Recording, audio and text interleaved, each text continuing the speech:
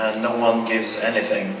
So we decide to make our own little production, and we take the the little phone book, and we call everyone who has some money to see if they want to be producer.